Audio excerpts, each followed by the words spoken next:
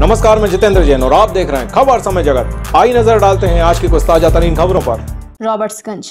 Auto में टक्कर मारकर भाग गया ट्रक, आधा दर्जन घायल।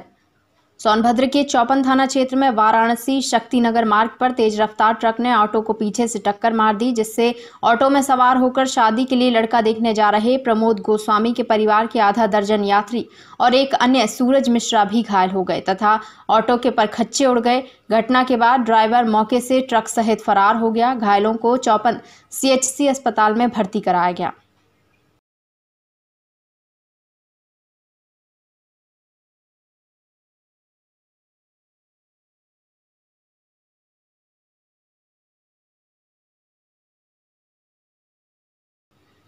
खबर समय जगत के लिए रॉबर्ट्सगंज से उमाकांत मिश्र की report.